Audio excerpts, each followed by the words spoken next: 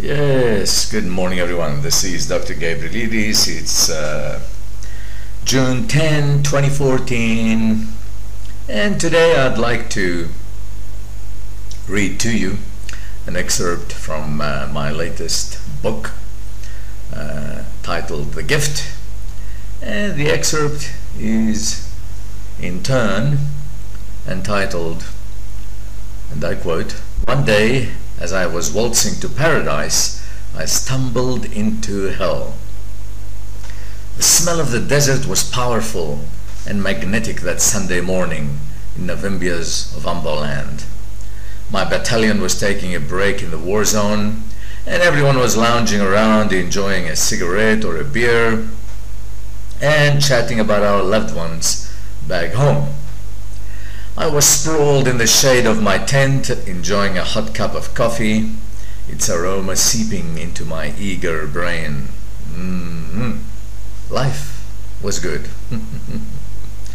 Suddenly, though, the giant figure of my sergeant major was looming menacingly before me. Gabby, as they used to call me, says he to me, today is Sunday, not Saturday, right? Yes, sir, I nervously replied, not at all sure whether, where this question was going. My fellow soldiers all uh, lazily turned their heads toward us, assured that this was going to be fun.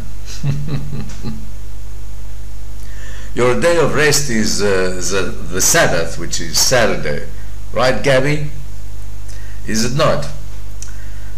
Uh, yesterday, uh, it being your Sabbath, you refused to work with us. Yes, sir, I replied once again, this time gloomily, because suddenly I knew I was screwed. Great, said the malevolent grin of the sergeant major. Grab a shovel and start digging a trench all around our camp. My fellow soldiers started laughing their heads off at how cleverly I got what I deserved, quote unquote. Lol. Laughter all around. Inside, I wanted to bawl, to cry like a spoiled baby monkey that had just had a banana stolen from him. Instead, yes, sir, I said as I got up, found a shovel, took my shirt off. I was 19 at the time, and the bodybuilder, hey, I had a fantastic physique in those days. so I started whistling a happy tune and started digging. At first, my fellow soldiers were full of sarcastic advice about how to go about digging the trench, how to hold the shovel, etc. So yeah, you can just imagine, you know, wide grins on their faces, which were camouflaged by swirling cigarette smoke and enjoying copious amounts of ale. I wordlessly and stoically dug on as the sun covered my muscles with a shiny sheen of sweat. After an hour or so, actually I think it was half an hour, after about half an hour or so, uh, an absolutely incredible thing happened though. One of the guys got up, grabbed the shovel out of my hands, and continued to dig for me. Next thing, next thing I knew, there was a line of guys waiting to take their turn to dig the trench for me astounding. The sergeant major who was watching the spectacle very quickly lost his crocodile grin. He came up to me, grabbed me by the arm, and led me to his tent. Oh my god, I thought, now I'm really screwed. Coffee, he said, as he poured us each a cuppa. I've been a soldier for a long time now, Gabby, said he, and I must say, Instead of crying like a stuck pig, which I thought you would, you took your punishment like a man. I can see you have a good heart and that you're not a coward, Gabby, because even though we're in a war zone in a foreign country, we were South African soldiers in Namibia at the time, you're here with us as a non-combatant, refusing to carry a rifle and to kill. You're always first volunteer for any job, no matter how dangerous. And the other guys have seen that too, and out of respect for who you are at heart, they're st standing by you today. Be thankful for that, son. Believe me, I was. wow.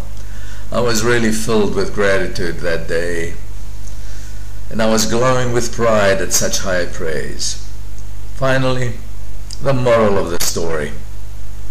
Sometimes, my friends, on our way to paradise, we slip through an unfamiliar door and find ourselves in hell. That's life, real life. It happens. When it does, my dear friends, don't despair. Take your proverbial shirt off, grab the proverbial shovel, and start singing a happy tune. Because then your energy, our energy, my energy, your energy, our energy changes.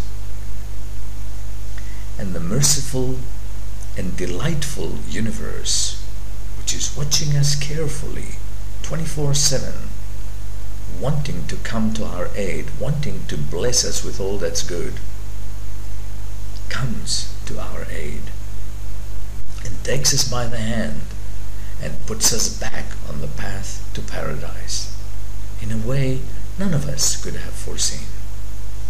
Don't forget that, my friends. I've experienced this so many times. So many times. It is a truth that I believe in with all my heart. I offer it to you in love. As always, I love you all. This is Dr. Gabrielides. Till next time, take care.